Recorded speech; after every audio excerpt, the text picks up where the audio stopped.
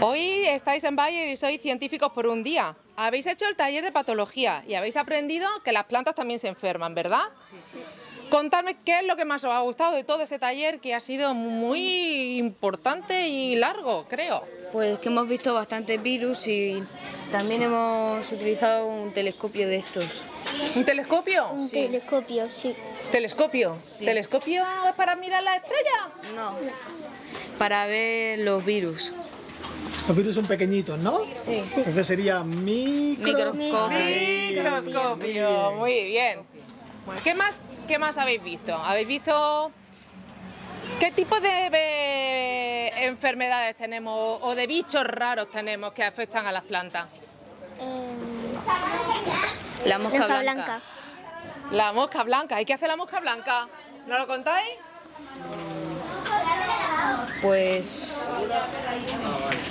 lo que, lo que- lo que hace es que infecta a la planta. Muy bien. Transmite virus también, ¿verdad? Sí. Oye, ¿y habéis hecho también una inoculación de un virus? Sí. Sí. Sí, ¿y cómo es eso de que se pasan ¿Qué los es una virus? inoculación? ¿Podéis explicarnos qué significa inocular?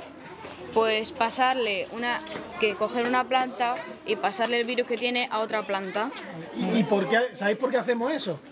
Para que la planta salga resistente a ese virus. Muy, Muy bien, bien, muy muy bien, Oye, y con todo esto que habéis practicado hoy, ¿qué queréis ser de mayor? ¿Queréis ser científicos, como nosotros? Sí. Sí.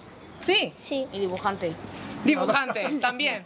Oye, pues también hay dibujantes científicos. Que luego veréis unas células por ahí que hay que dibujarlas muy bien. Olé. Ole.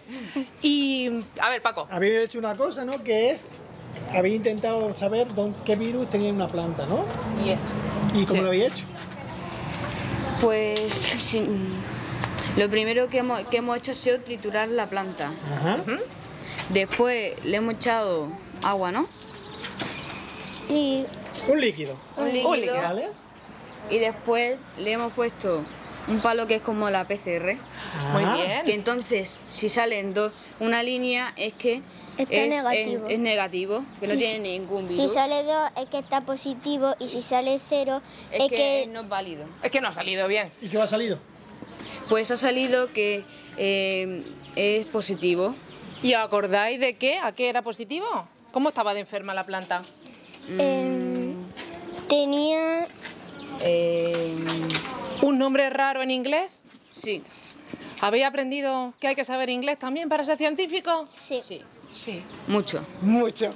mucho. Y habéis pipeteado también, ¿verdad? ¿Habéis cogido una pipeta? Sí. Sí. Entonces los volúmenes también son importantes, saber si la cantidad que tenemos que echar. Entonces, ciencias como las matemáticas, el inglés son importantes para, para ser científico. Sí. Que Si queréis ser científicos ya sabéis lo que tenéis que hacer. Ujú.